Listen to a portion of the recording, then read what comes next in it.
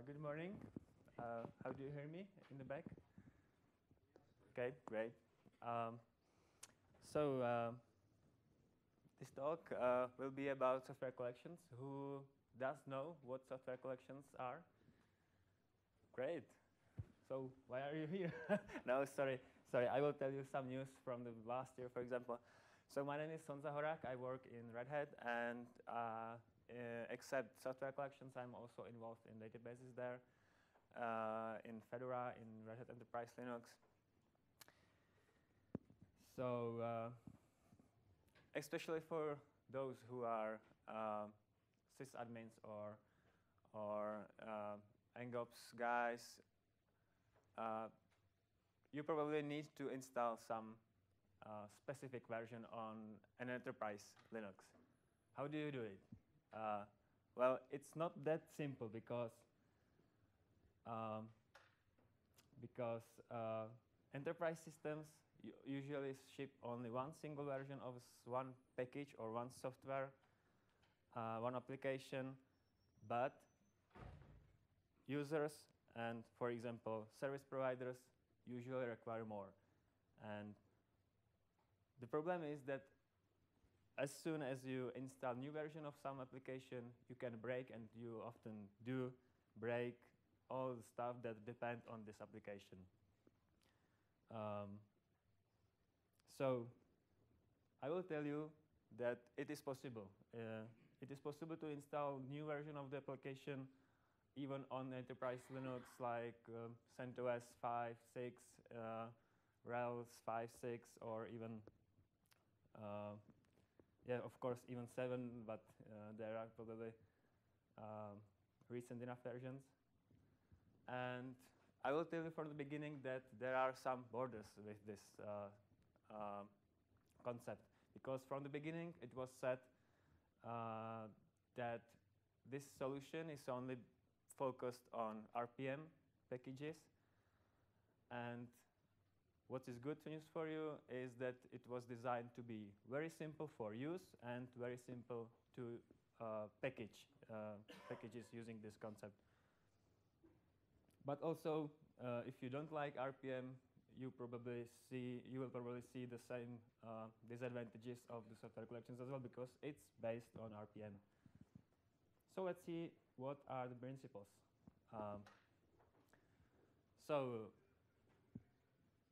if we talk about software collections, we usually talk about stacks. So stacks of packages.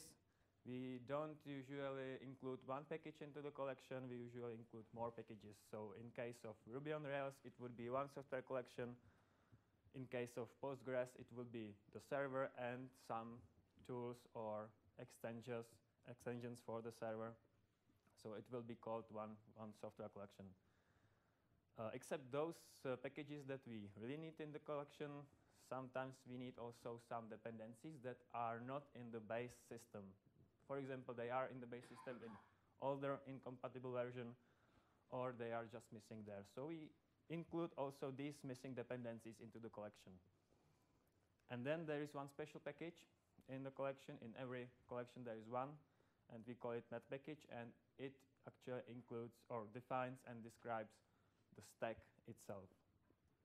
So let's look closer about the meta package.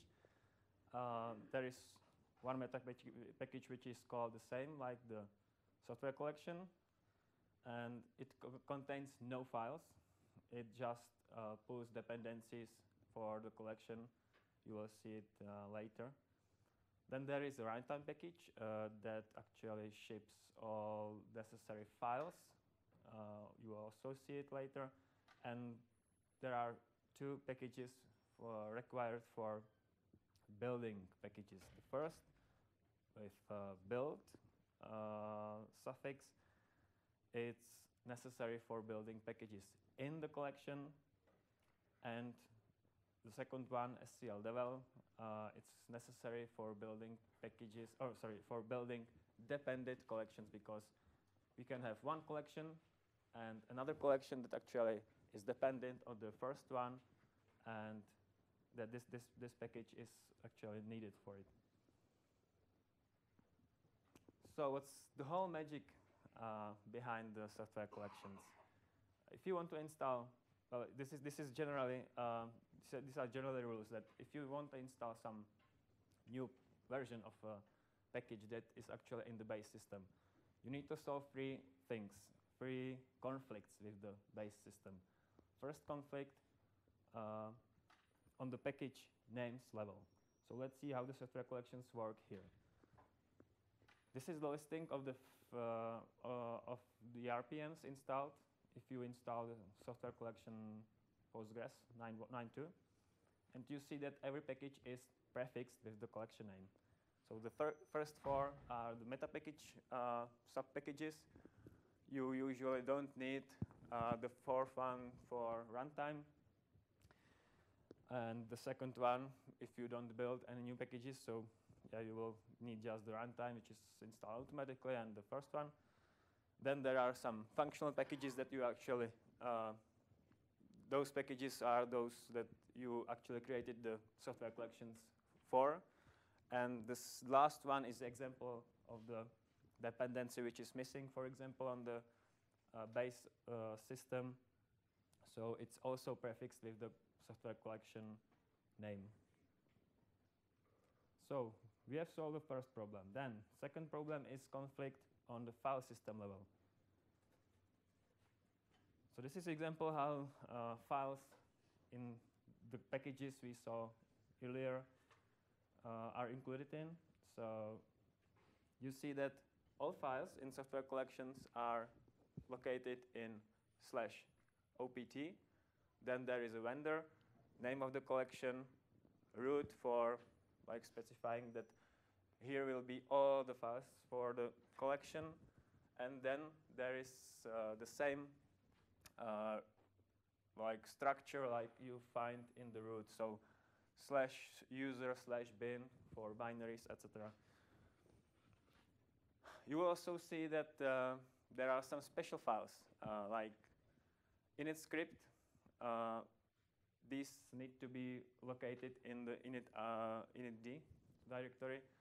So we can't just include it in the slash opt. So what we do to not conflict in the base operating system is that we use the prefix in the name. That's simple and it works.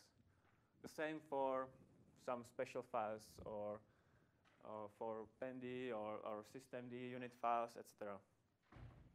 Um, if you already use software collections, you'll probably wonder why here is var slash var slash opt and it's not uh, opt slash something and var. This is the new new schema that we started to use because it's actually compliant with the uh, compliant with the file hierarchy standard, and it's actually more correct. Uh, so yeah, that, that's actually how the new version of software uh, software collections will look like. So second problem solved, and last problem, we also have some RPM metadata like providers and, and requires. So we also need to care about these. Uh, these are some examples uh, generated automatically by RPM. Uh, there can be also some generated by packager. For example, in Python, it's quite common that every Python module provides some Python uh, quotes or, or, I don't know, uh, name of the module.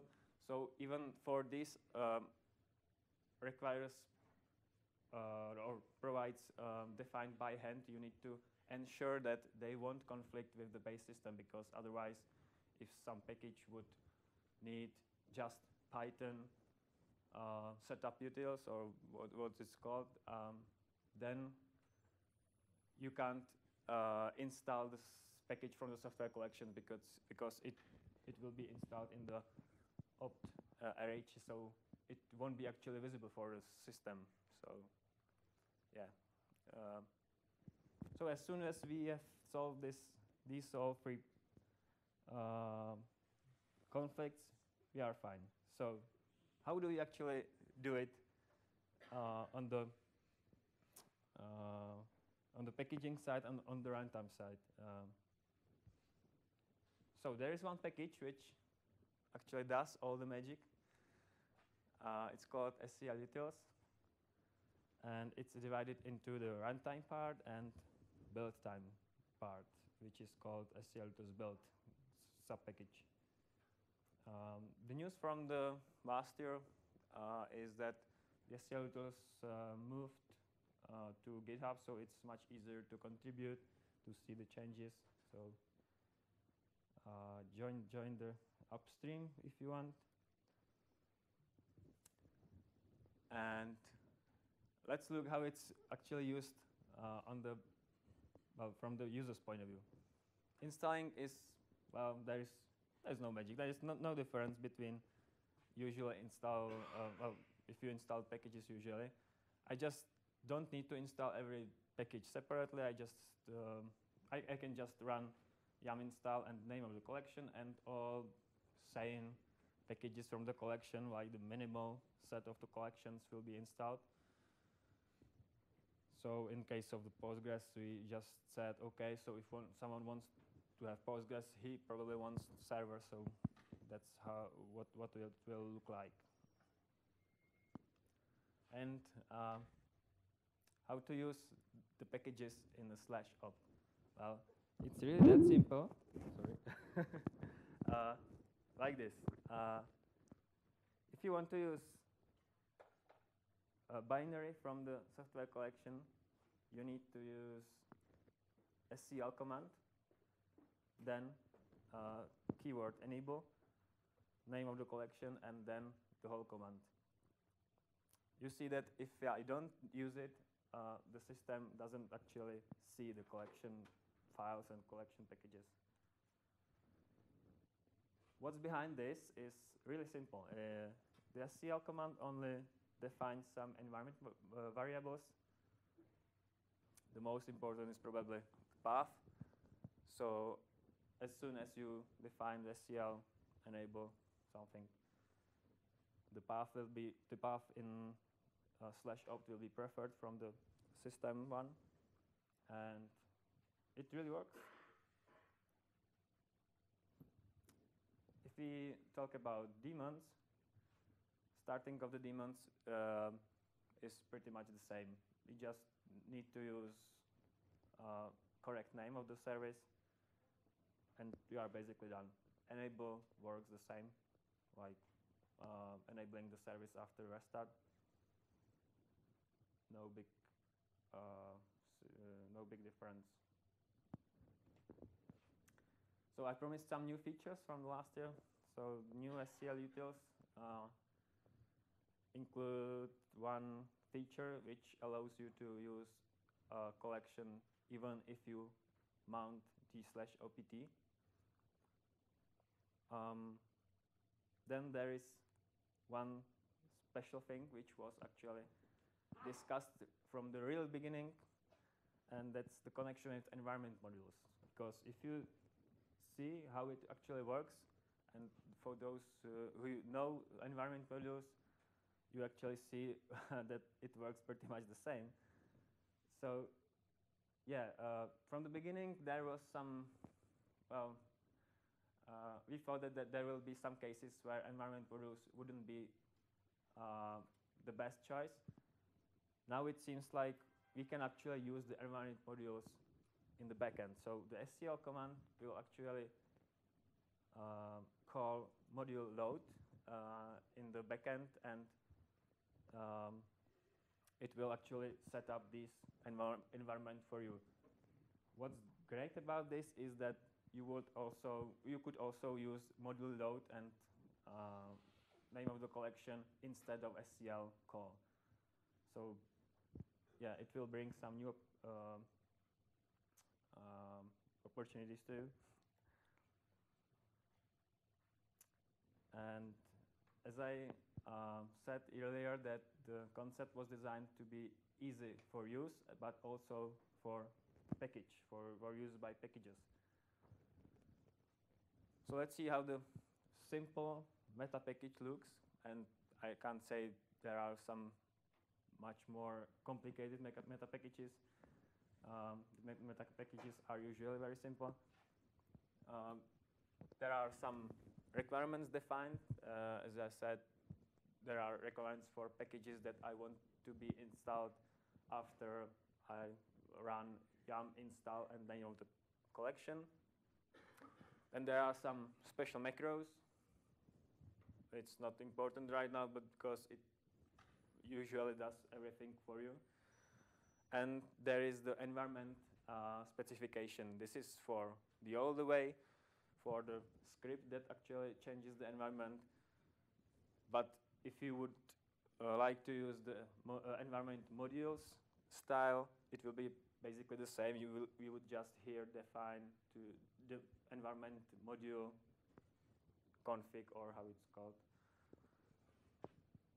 Then that, that's basically it. Also some uh, macros for including fuzz, so you don't have to um, do it yourself, so it's quite easy. And if you want to build actually the collection, these are all the steps you need to do. Really, it's, it's that simple. You need to install uh, the SCLUtils build because you need some special RPM macros for software collections. Then you build the meta package as usually package without ju you, just need, the macros from this this uh, build. That's the only difference. And then uh, there is a tool that converts usual spec file for a package to SCL enabled uh, spec file uh, that actually adds some or few few macros in the spec. And finally you build the package with uh, defining what the software name is because it's usually it's it's possible to change the name uh, it's it's not hard coded in the spec file it's it's necessary to define it but please, if you uh, mean it, uh, if you if you really want to do nice packages, it's really recommended to use Mock because otherwise, if you, for example, install this meta package build, you will spoil your RPM environment, and you can then see some weird packages like Python free free dash Postgres. So, what, does it mean? Uh, yeah, it it happens. So just please use mock and you will be safe. So let's also see what uh, the tool uh, spec2scl does. Uh, if you, for example, download the package from Koji, Fedora Koji, and you run it to the spec file, um, it pretty much adds the following things. It, sometimes it needs some correction, but it's really well quite readable because, uh, for example, uh, if you if you build package for Python stack, you probably need to have the build requires to set up to the packages from the uh, from the stack. So yeah, I think everyone who reads the RPM specs on daily basis, he can read this, this as well. So it's really about adding few macros, and it's usually done. uh, this is also important for uh, some packages that the build phase and the install phase need to be run uh, in the software collection environment, so with the software collection enabled. So sometimes it's it's uh, it requires a bit more because, for example, Python stack uh, defines some macros to be easily uh, so these macros can be easily used. Uh, so you need to care about macros defined by the package devel um, package and sorry Python devel package. So uh, but on the other hand, you will end up with pretty much the same spec file. Uh, so as, as you saw earlier, then you, you can uh, use the same macros here. You don't need to change anything because it will be uh, changed already in the Python free free build package, for example.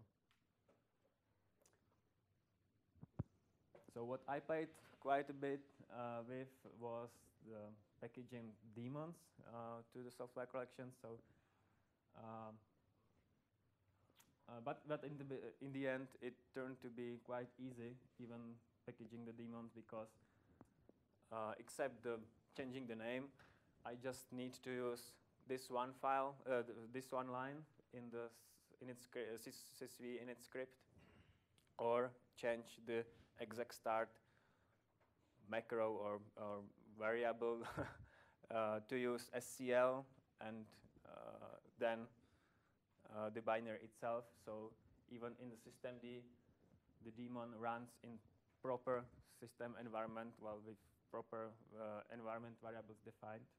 And it really works that simple.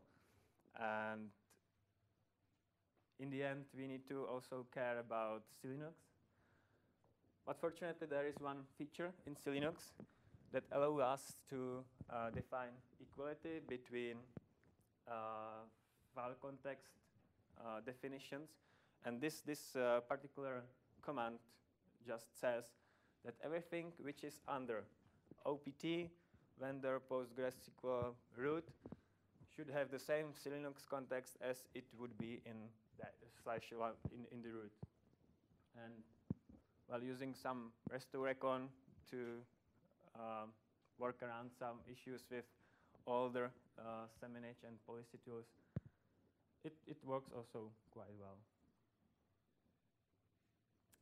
Uh, then there is a way how to extend uh, the collection because, uh, for example, you can get collection with 10 packages and you want to add few more. So there are probably, well, there are two ways how to do it. You either want to you, uh, build your package inside the collection or which is better to, well, the second, the second way is better to the cases where you want to ship the collection out also, is to create a dependent collection. So you will call all your um, new, collect, new, new packages under your specific name. Uh, yeah, and uh, it, it is also um, it is also, also not, not that that uh, complicated. Uh, there is one um, article about this for the Python, which is probably the most complicated one, but uh, it's also doable, and, and I, I don't think uh, someone who knows RPM would have big problems with it. So if you want to extend some collection, read this uh, blog post from Slavek and uh, you should be fine.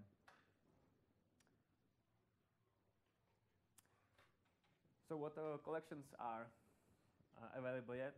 Uh, there is a product in Red Hat which is called RHSCL and there are quite few uh, collections already. But uh, what we struggled, what we have struggled so far a bit was to create some community when uh, some well, users want uh, software collections in Fedora or CentOS, or they want to contribute. So this is also a bit news from the last year. Uh, there was some progress in the Fedora. Uh, there was also special interest group set up in CentOS. Uh, so yeah, so just join those communities if you want. Um, uh, in in CentOS, it's it's well, improving quite quite fast, I would say.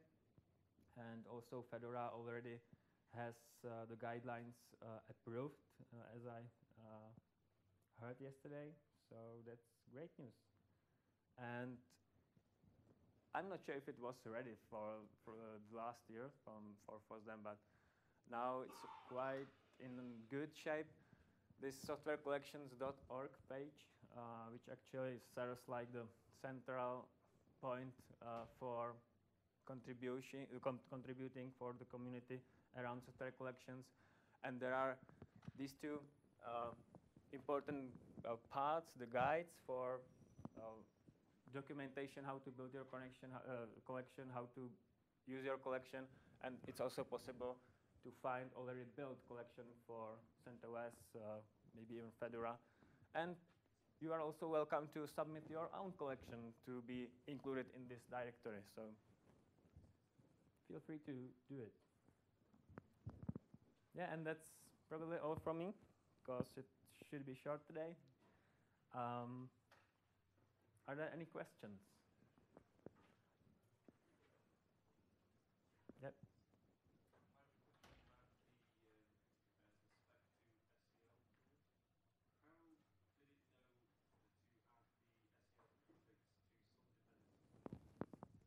So there is a.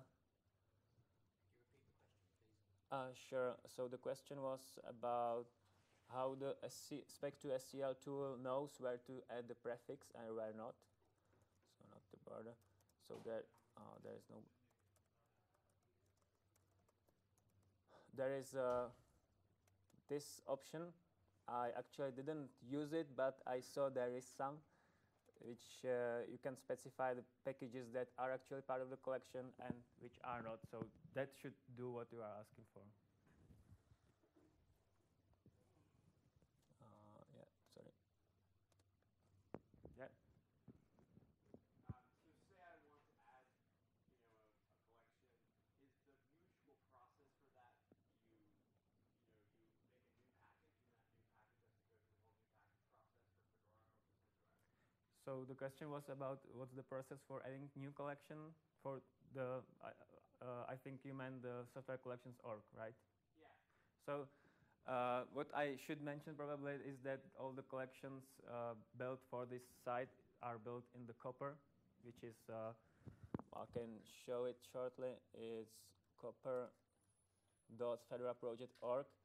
Uh, you can build whatever you want there unless it uh, conflicts with the uh, licensing guidelines of Fedora.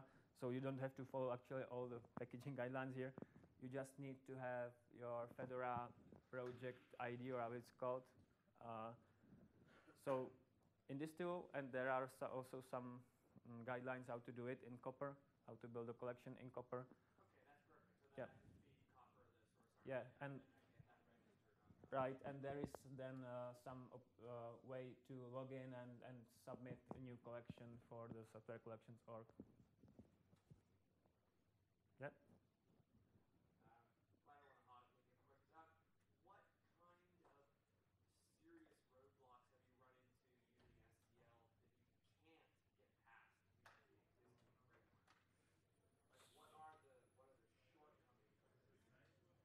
Sorry, I probably didn't catch the. Uh, what, what problems can not solve? Ah, right. So, what problems can uh, SCL not solve? So, uh,